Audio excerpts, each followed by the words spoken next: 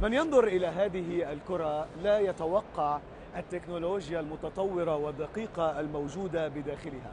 تبدو كأي كرة عادية. لكن هذه الكرة سوف تقدم حلا بسيطا ورخيصا لكثير من صائدي الأسماك لإيجاد مكان وجود الأسماك في المياه بدلا عن قوارب متطورة غالية الثمن آه، تكمن هذه التكنولوجيا بداخلها. هلو كيس هاي. هاي. آه، كيف يمكن لكرة بسيطة وصغيرة الحجم أن آه، تتضمن كل هذه التكنولوجيا المتطورة؟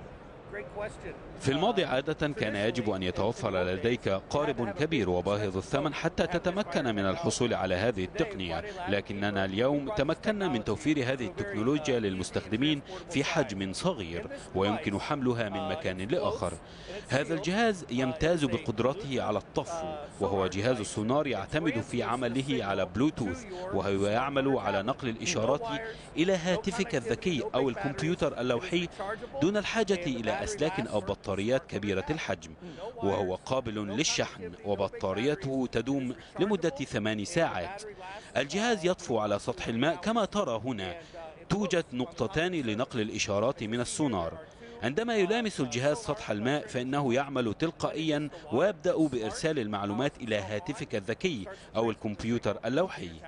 ما هو مساحة المياه أو المكان الذي تكشف فيه هذه الكرة عن وجود الأسماك وما هو العمق الذي تعمل أيضا من خلاله؟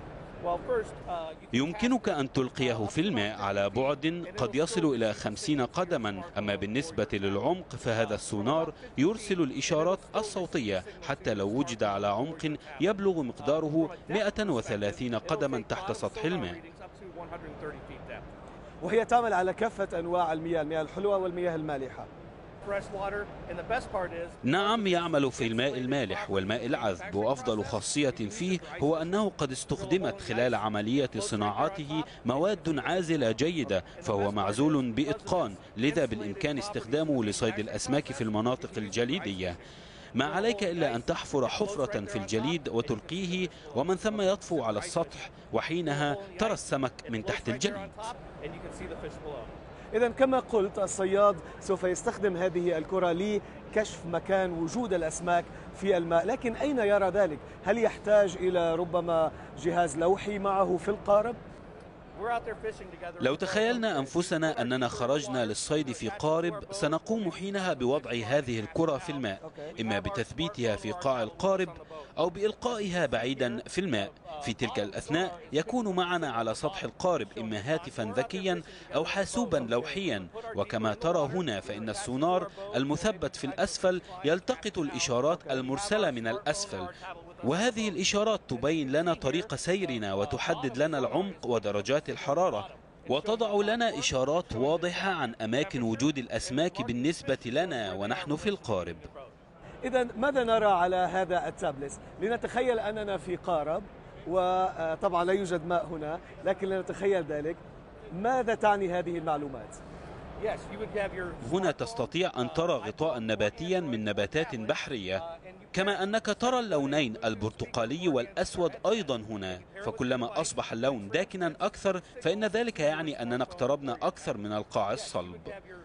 العلامات التي توضح أماكن وجود الأسماك كما تراها هناك في الأسفل توضح تماما العمق الحقيقي الذي توجد عليه كل سمكة تراها. فهذه الإشارات مثلا تبين أن هذه المجموعة من الأسماك موجودة على عمق 17 قدما ونصف تحت سطح الماء. وهنا في الأعلى في الطرف العلوي الأيمن توجد بعض الإعدادات تبين للمستخدم درجات الحرارة وأبعد عمق توجد فيه أسماك في هذه اللحظة. أما الميزات الأخرى المتوفرة فمن ضمنها ميزة الخرائط وحالة الطقس وأوجه القمر وحركة الأمواج التي تسهل لك مثلا معرفة إن كانت عالية أم منخفضة وإن كانت حركة مد أم جزر. هل يمكن أن ربما تقوم بفك هذه الطابة أو الكرة ونرى ماذا يوجد بداخلها؟ بالتأكيد عندما تفتح الجهاز من الداخل ترى أنه محاط بحشوة واقية ومواد عازلة للماء تماما.